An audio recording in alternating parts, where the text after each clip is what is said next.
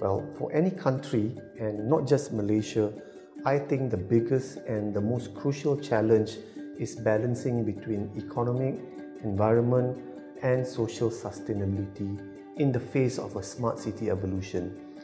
In the journey towards smart, how do we ensure the rural people and underprivileged are not marginalized or left out from the digital divide?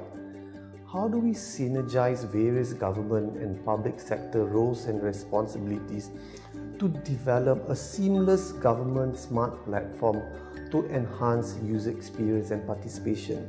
Well, that is the question. Malaysia is among the leading nations in technology adoption. Mobile phone penetration in the country is over 100% and smartphones are likely to achieve similar growth in a year or two.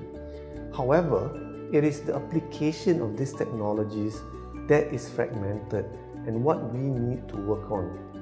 The challenge for the government as the facilitator of smart cities is to pull together these fragmented areas of technology and applications into a unified platforms to solve urban issues, much as how Estonia, the country, is doing.